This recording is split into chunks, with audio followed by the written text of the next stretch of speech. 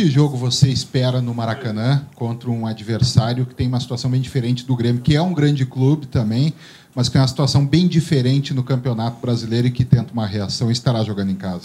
É, acredito que vai ser um jogo muito competitivo, né? Uh, a equipe do Vasco é uma equipe com jogadores experientes, uh, uma equipe com muita força física, principalmente do meio para trás, então vai haver muito contato, acredito eu. Uh, é claro que vai ser um pouco tenso, como irá ser esses últimos jogos do Brasileirão, Brasileirão porque cada equipe vai estar tá buscando seu os seus objetivos e a gente vai lá com o intuito de poder reconquistar os pontos que a gente deixou na arena para que a gente possa manter o, o nível de atuação que a gente vem tendo e, claro, somando o maior número de pontos possíveis. Pois é, né, Bressan? Aqui. Mas vai ter uma mudança em, no sistema defensivo pela não presença do Pedro Jeromel, que não pode atuar. A gente viu no treino hoje o Thierry ali ao lado do Eraso, uhum. você treinando com o Jeromel. Você tem a expectativa de jogar contra o Vasco, né? Sabe dessa situação já? E o que você espera caso jogue mais uma vez uma pressão para substituir um dos jogadores do sistema defensivo do Grêmio que mais recebe elogios, que é o Pedro Jeromel? Jeromel é um excelente zagueiro. Na minha concepção, hoje é o melhor zagueiro atuando no Brasil, no Brasileirão. Ah, é claro que é um jogador que faz falta em qualquer time, mas eu acho que tanto eu quanto o Thierry, quem for entrar, vai tentar suprir essa ausência ao máximo. E o mais importante é que o grupo ele acolhe bem, dá confiança, o Roger também, a comissão. Então, dessa parte é bem tranquilo, assim como outras vezes o Eraso ou até o próprio Jeromel ficaram de fora e quem entrou conseguiu ir bem, conseguiu manter o nível da equipe uh, defensivamente, principalmente. Então, eu acho que essa questão é, é bem tranquila e o importante é a gente estar bem focado nessa partida que vai ser muito difícil. Sistema defensivo que tem o goleiro também, né, Bressa? O Marcelo não foi convocado agora pela manhã e, e o Dunga justificou aí a questão da, da lesão, não está 100%. Pelo que vocês têm visto no, no vestiário, Uh, como é que está o, o, astral, vamos dizer assim, do Marcelo Groy para o jogo uh, de domingo? E qual é a diferença de ter um goleiro da seleção brasileira e, e, e não ter um goleiro da seleção da a, a confiança? É a mesma? Muda? Ah, em relação ao astral, acho que quem conhece o Marcelo pode ter certeza que ele vai estar muito mais do que motivado. É um cara que gosta muito de estar aqui, que ama o clube, então e se dedica muito por isso, né? Então tenho certeza que ele está 100% focado aqui, com a cabeça totalmente aqui. Uh, um jogador experiente, né? um jogador, como tu falaste, de, de, seleção brasileira, então com certeza ele passa uma tranquilidade, uma confiança, assim como o Graça, o Thiago também passam, o próprio Léo também, que é mais novo. Uh, mas é importante a volta dele também para o nosso grupo. É um jogador que conhece a casa também, está ambientado com, com todo o clube e todo mundo tem muita confiança nele. O Grêmio tem tido bons resultados recentemente no Rio de Janeiro, sobretudo no Campeonato Brasileiro. Uhum. Isso altera alguma coisa para vocês animicamente para recuperar os pontos que perderam aqui na Arena?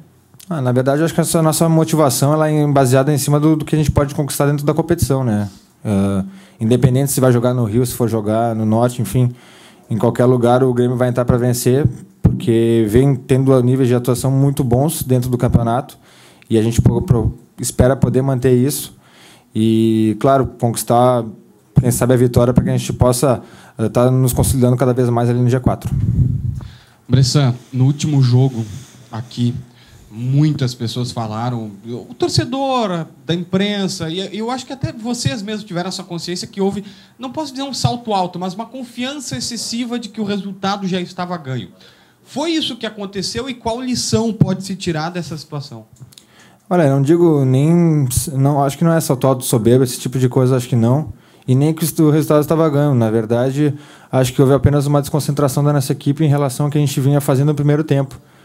Às vezes isso é do ser humano, de talvez esse excesso de confiança. Importante que a gente aprenda com isso, né? Que a gente fez um bom primeiro tempo e o segundo tempo não, não foi o que a nossa equipe vem fazendo dentro da, do campeonato. Isso não pode voltar a acontecer. Isso, essa é a nossa conversa dentro do vestiário, para que a gente possa entrar concentrado os 90 minutos e não deixe isso acontecer e a gente possa sair com a vitória, como a gente vinha fazendo já no primeiro tempo contra a Chapecoense. Bressan, mas a gente observa os números e vê que o Grêmio, assim como outras duas equipes, do Campeonato Brasileiro tem uma defesa que levou menos de um gol né, por jogo. Só que acabou levando esses três gols contra a Chapecoense. Mas eu queria especialmente entender quais são as características e o que, que vocês trabalham especificamente para ter um sistema defensivo tão sólido. O ano passado foi assim e esse ano se repete. Acho que se deve muito ao trabalho e não só da parte defensiva, né? Uh, hoje o futebol moderno ele pede que os outros jogadores entendam que precisam atacar e defender. E é isso que o Roger pede em todos os treinamentos, né? Que o pessoal de frente Uh, sempre procurei apertar a marcação para que a bola chegue um pouco mais quadrada para o jogador adversário ali na frente e isso facilita o nosso trabalho, né? Eu acho que é muita da dedicação do trabalho da equipe inteira e por isso esses bons números que a gente vem tendo nesses, nesses anos já. Bressa, se o Roger optar mais uma vez por jogar com o Bobô lá na frente como referência, uhum. qual é a característica diferente dele que, que pode realmente fazer de fato diferença lá no Rio contra o Vasco? E o grupo agora já está completamente adaptado para jogar com o Bobô, com o estilo dele lá na frente? É, o Bobô é um jogador de referência, de área, que sabe, sabe fazer gol, né? É um jogador, é um 9, né? E é claro que muda um pouco do que a equipe vinha jogando antes da entrada dele, mas ele é um jogador inteligente também. O Roger vem conversando com ele, ele está conseguindo também sair da área, não só ficar ali dentro. Está conseguindo criar boas, bons espaços para quem está chegando de trás e conseguindo concluir a gol. Fez gol no último jogo. Então é um jogador que tem a confiança plena do, da equipe inteira. E tenho certeza que a equipe vai crescer cada vez mais junto com ele dentro do, da equipe.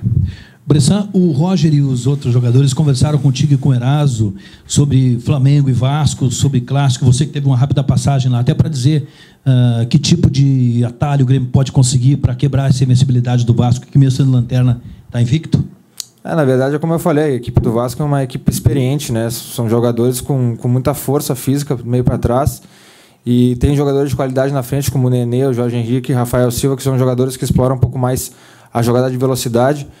Então é importante a gente estar bem concentrado, como eu falei, os 90 minutos inteiros, para que a gente possa não dar espaço para eles e também daqui a pouco poder usar um pouco da atenção do jogo a nosso favor. É como eu falei, são 90 minutos.